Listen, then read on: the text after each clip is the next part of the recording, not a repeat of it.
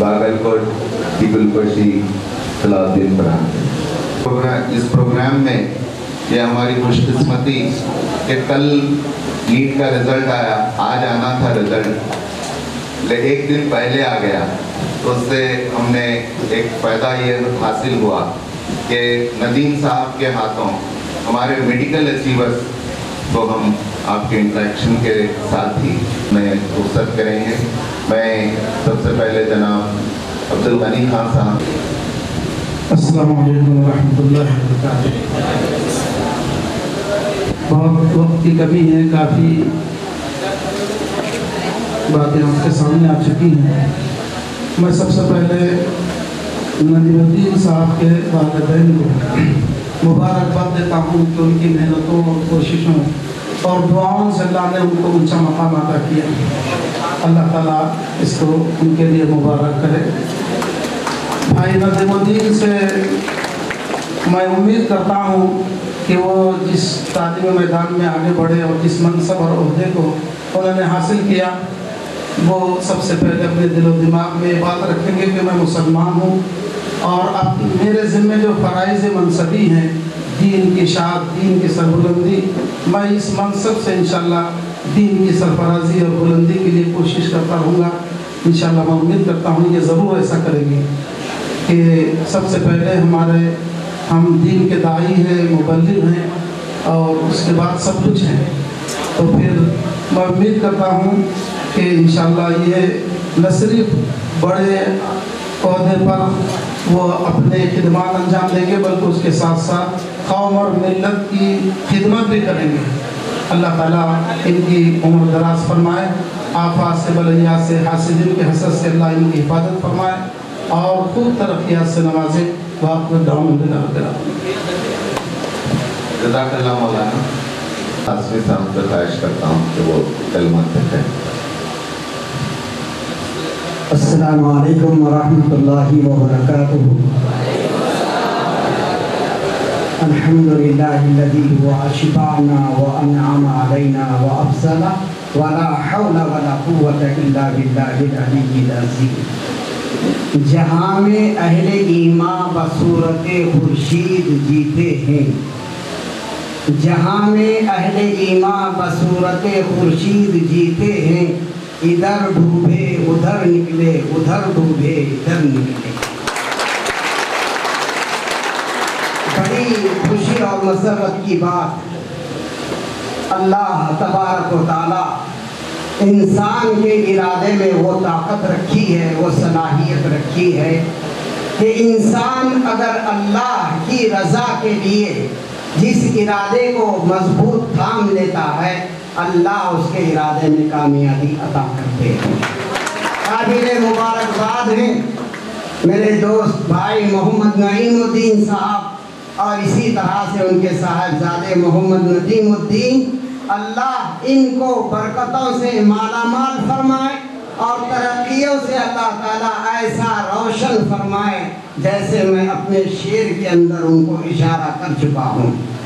अल्लाह तबारक ताला के बंदे दुनिया में ऐसे रहते हैं जिनसे अल्लाह तबारक ताला एक अनोखी मिसाल साबित फरमा कर अपनी वाहदानियत को साबित फरमाते हैं।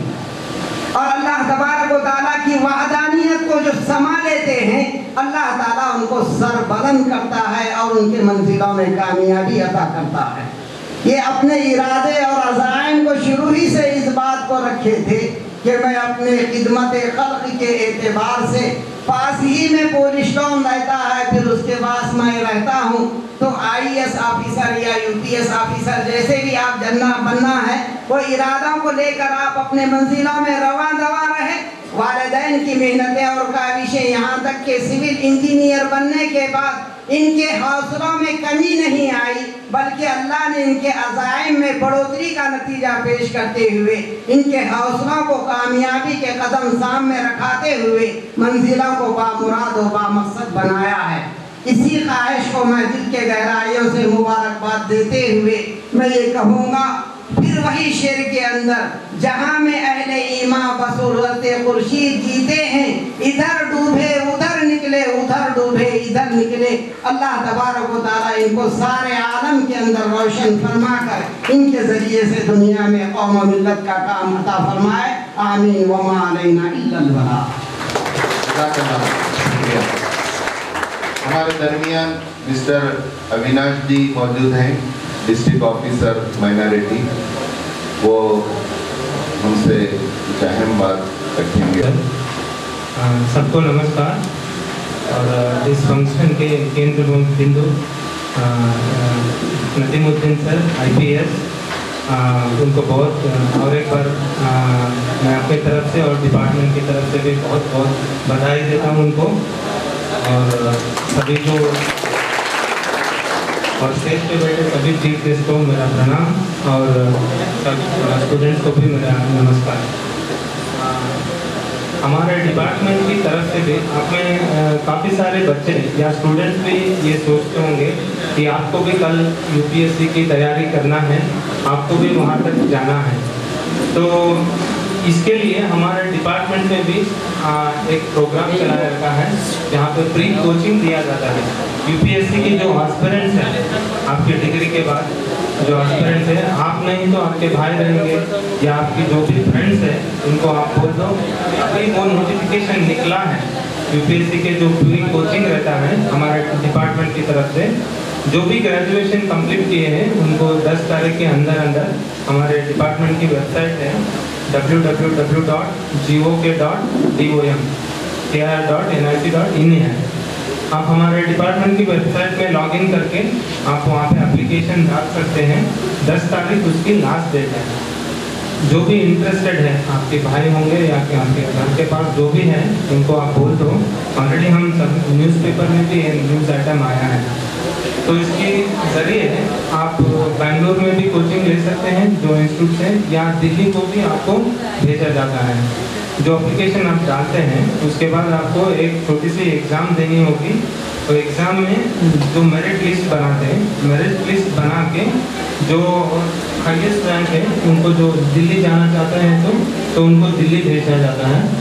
तो जो भी फ़ीस रहता इंस्टीट्यूशन का सपोज़ वाजीराम है। वाजीराम का जनरल स्टडीज़ के लिए सेवेंटी फाइव थाउज़ेंड फ़ीस है। वो फ़ीस डिपार्टमेंट के थ्रू गवर्नमेंट ऑफ़ कर्नाटका देती है। और उसके बाद आपके महीने के लिए per month thirteen thousand rupees आपकी एक्सपेंडिचर भी गवर्नमेंट की तरफ़ से दिया जाता है। तो ये आप बेनिफिट है माइनॉरिटी डिपार्टमेंट की तरफ़ से चलाई जा रही है। और इसमें पूरे माइनॉरिटी बच्चों के लिए है। तो आप जो भी है उनको थोड़ा आप बोल दिए तो वो इसका बेनिफिट ले सकते हैं। आगे जाके सर की तरह वो भी कामयाबी हासिल कर सकते हैं। हाँ ये हमारे तरफ़ से डिपार्टमेंट की तरफ़ से रिक्वेस्ट है। आप ये जो भी है एडवर्टाइजमेंट सभी को बोल दो। इसे छोड़ के और इसे छोड़कर भी अ, अभी बता रहे थे यूपीएससी सिलेक्शन में। यूपीएससी एग्ज़ाम आईएएस या आईपीएस हो this is one of the toughest exam in the world not only in India is one of the toughest exam in the world तो इसलिए मैं सर को और एक बार बधाई देता हूँ। Is really really very hats sir हाँ तो सर, आपके सर भी बोल रहे थे कि इंजीनियरिंग या मेडिकल वहाँ पे ख़त्म नहीं होती, आपकी जॉब वहाँ से शुरू होती है। जो भी आप कहाँ से भी आए हैं, सर भी बता रहे थे, बीदर की जो बैकवर्ड डिस्ट्रिक्ट माना जाता है, बीदर हो या गुलबर्गा हो, सब हैदराबाद, कर्नाटक के जो भी रीजन है बैकवर्ड क्लास डिस्ट्रिक्ट माना जाता है। तो यहाँ से आप सक्सेसफुल होके जाते हैं तो ये आ, हम सब के लिए मोटिवेशन रहेगा जो नेक्स्ट जनरेशन है उनके लिए भी मोटिवेशन रहेगा। तो इसीलिए आप इंजीनियरिंग मेडिकल या जो भी बीए करो बीएससी करो वहीं पे आप अपना स्टडीज़ मत रोको। आपका एम रहना चाहिए कि आप भी यूपीएससी लिखें। मेरा रिक्वेस्ट यही है हर एक हर एक बच्चा, हर एक स्टूडेंट जो है यूपीएससी को एक ना एक बार आप लिखें, क्योंकि this exam is completely different from all other exam engineering हो मेडिकल हो या एंट्रेंस हो, आपकी कोई भी एग्ज़ाम हो उससे हट के है ये। ये इसमें आपकी जो प्रैक्टिकल नॉलेज है और जो आपके सेल्फ कॉन्फिडेंस है पूरा इसमें टेस्ट होता है। तो इसीलिए मेरा रिक्वेस्ट है आप सब इसको एक बार सोचिए और इसको लिखना आ, लिखें आप अपने लाइफ में। और आ, मैं ये जनरली ऑब्ज़र्व करता हूँ मेरे को including me that when we are studying in 11th और 12th class we don't even spend time to know about what is happening around us तो आप एवरीडे एक हाफ़ एन आवर न्यूज़ के लिए रखें, निकाल के अपना टाइम जो है, जो भी इंटरनेशनल डेली न्यूज़ आता है, एक हाफ़ एन आवर एट या एट थर्टी को आता है, वो सुनिए और everyday morning half an hour paper आप पढ़िए न्यूज़पेपर कन्नड़ हो या इंग्लिश हो या उर्दू हो, जो भी आपको सूट होता है, वो एक हाफ़ एन आवर आप पढ़िए। उसके थ्रू आपका जनरल नॉलेज भी इंप्रूवमेंट होगा कि आगे जाके आपके जो भी एग्ज़ाम्स लिखते हैं, उसमें भी आपको हेल्प होगा। और हमारा लास्ट में हमारा ऑफ़िस माइलोर में है। आ, आपका जो भी माइनॉरिटी के रिलेटेड जो भी आपको इश्यूज़ रहते हैं आप वहाँ आके हमसे डिस्कस कर सकते हैं। स्कॉलरशिप हो या यूपीएससी के जो प्री कोचिंग का है जो भी है उनको वहाँ पे भेजिए हम उनको गाइड करेंगे। इसमें बोलते हुए मेरे को आ, यहाँ पर बुला के आ, मेरा आदर भी करें और मेरे को टाइम भी दिए बात करने के लिए। इसके लिए सेक्रेटरी सर को मैं अपना धन्यवाद देता हूँ। Thank you thank you Abhiman sir अभी मुख्तसर एक दो मिनट में ही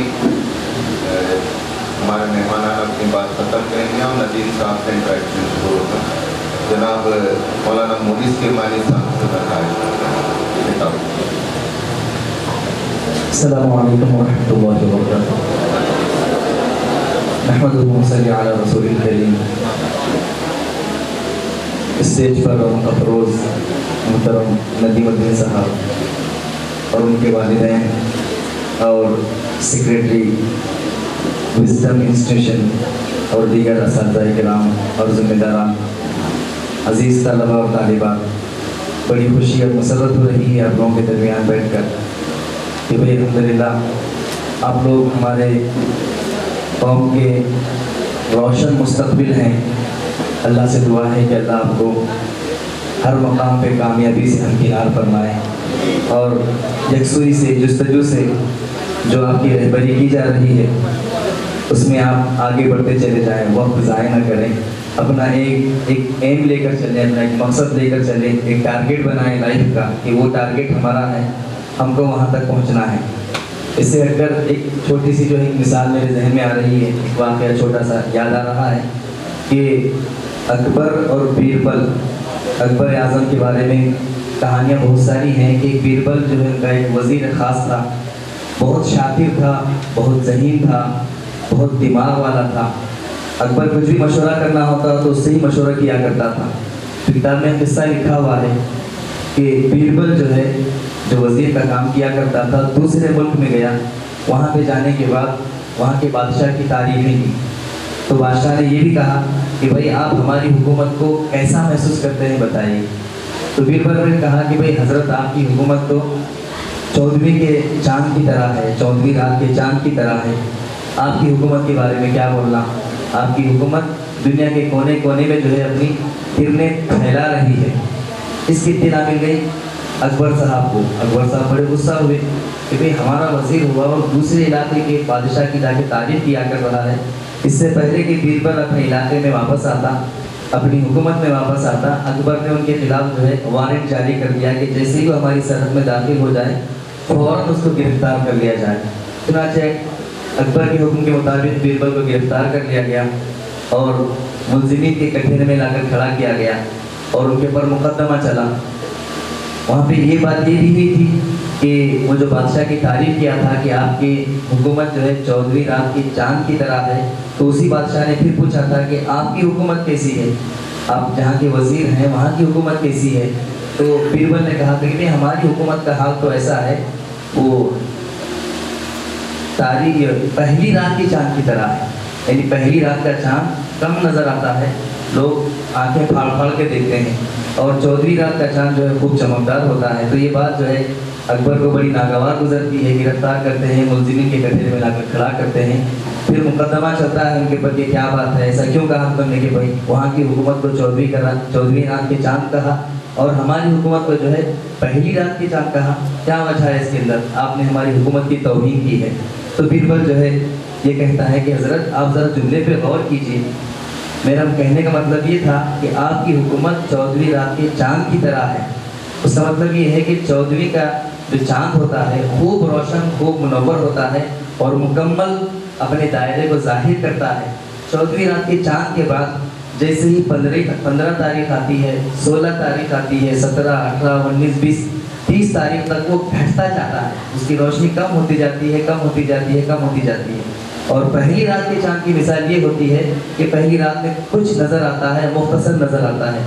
दो तारीख आ गई तो और रोशन होता है, तीन तारीख आई तो और रोशन होता है, चार पाँच बढ़ते बढ़ते चौदह तारीख को मुकम्मल रोशन हो जाता है। तो ये मिसाल से जहन में आई बात की भाई, हमारे नदीमुद्दीन साहब, हमारे शहर बिदर के लिए ख़ास तौर से, हमारे ज़िले के लिए पहली रात की चाँद की तरह है। अल्लाह से दुआ है कि एक एक चाँद हमारे लिए रोशन हुआ है। इस मिसाल जो है रात और पूरे जो है ज़िला को जो है मनोवर कर दे। अल्लाह से दुआ है, आसिफ साहब से भी कि यहाँ पे भी दुआ है कि अल्लाह तबारक